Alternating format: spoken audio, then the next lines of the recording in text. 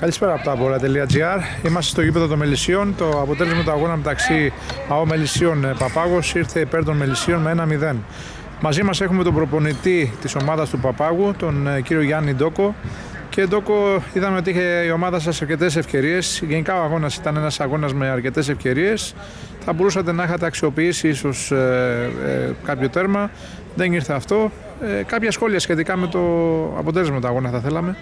Εντάξει, ήταν ένα παιχνίδι στην ουσία βαθμολογικά διάσπορο γιατί ούτε και τα μελίσια κυνηγάγανε κάτι. Εμείς έχουμε αποβιβαστεί από την προηγούμενη εβδομάδα μαθηματικά. Παίξαμε χωρίς άγχος, ήμασταν αρκετά καλοί.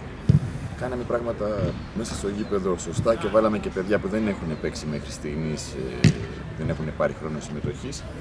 Είμαι ευχαριστημένος για την προσπάθεια των παιδιών. Θα μπορούσε το παιχνίδι ήταν ανοιχτό για όλα τα σκορ να νικήσουν τα μελίσια, μπορούσαν να είχαν βάλει και κάποιο γκολ ακόμα. Εμείς θα μπορούσαμε να είχαμε σκοράρει, να είχαμε προηγηθεί, να είχαμε προχωρήσει. Έτσι είναι το ποδόσφαιρο.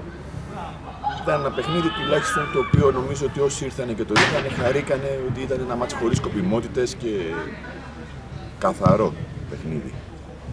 Πολύ ωραία. Είχατε κάποιους ε, τραυματισμούς, αντιμετωπίζατε θέματα; Είχαμε κάποια προβλήματα τραυματισμών, αλλά εντάξει δεν πειράζει αυτό. Και εμείς θέλαμε ούτως ή άλλως αφού από την προηγούμενη εβδομάδα δεν καταφέραμε να κάνουμε, να σώσουμε την κατηγορία.